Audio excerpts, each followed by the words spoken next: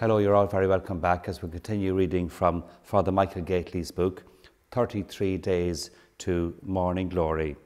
And uh, today we hear about Pope John Paul II, and he emphasizes Mary as being mother. And we reflect on John Paul II's consecration. And he reminds us that Mary is our mother and that we should entrust ourselves to Mary because Mary leads us to Jesus and she leads, leads us into the heart of Jesus.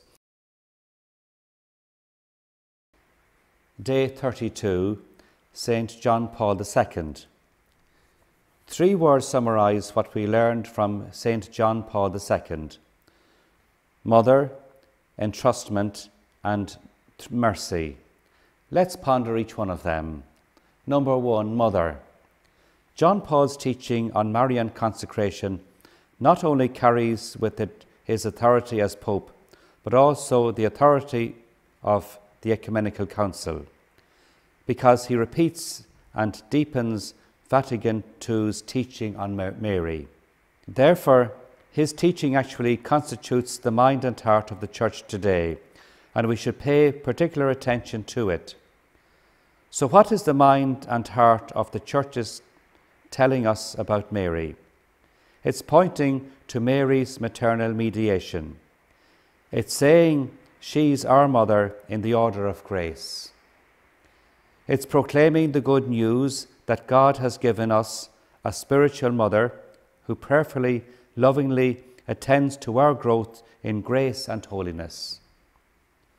The new motherhood of Mary in the life of the Church, in the life of each one of us, is the constant, consoling, beautiful background to everything we've said about Marian consecration, or what John Paul calls entrustment. Number two, entrustment. Seeing Mary standing at the foot of the cross next to his beloved disciple, John, Jesus said, Woman, behold your son. Then to John, Behold your mother. These words summarize what we have already covered in the last point that Mary is our spiritual mother.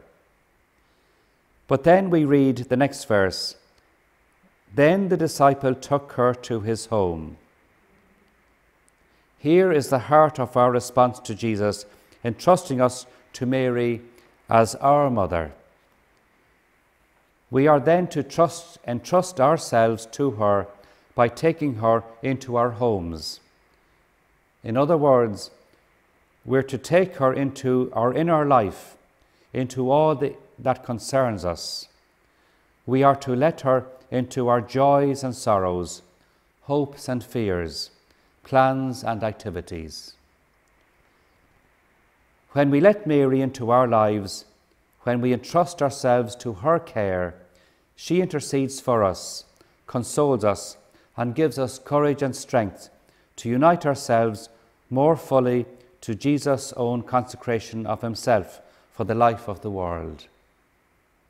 In other words, she brings us to the cross of Jesus, which is the final meaning of Jesus' self consecration, and she inspires us to spend ourselves for the salvation of the world, to take up our part in the work of redemption as we take up our cross, as we live within Christ's own consecration, we, we may become spiritually thirsty, desolate, and tired.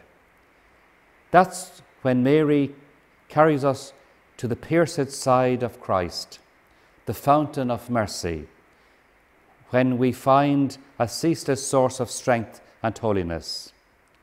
Thus, to John Paul's mind, entrustment to Mary leads us to our consecration to Christ. In other words, one might say it's a movement of entrust, entrustment. Number three, mercy. Ultimately, Marian consecration leads us to divine mercy. Acts of consecration to the Immaculate Heart of Mary lead to acts of trust in the merciful heart of Jesus. We see this in the story of Fatima when Pope John Paul and especially in Pope John Paul's homily during his pilgrimage to Fatima in 1982, a pilgrimage of thanksgiving to the mercy of God and the Mother of Christ for having saved his life. In that homily, John Paul repeatedly pointed out how Marian consecration leads us to the pierced heart of Jesus, the fountain of mercy.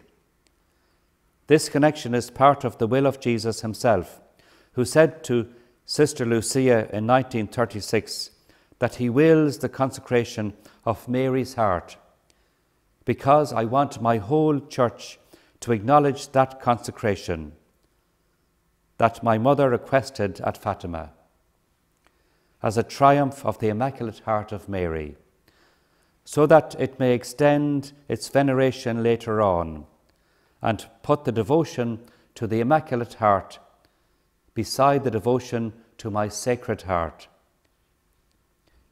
Jesus wants to ex- extend veneration and devotion to the Immaculate Heart of Mary because she leads us most perfectly to Him and helps us to receive the infinite mercy of His heart.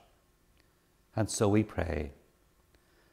Spend the day pondering John Paul's Marian teaching as it is summarized in these three words Mother, entrustment, and mercy. Amen.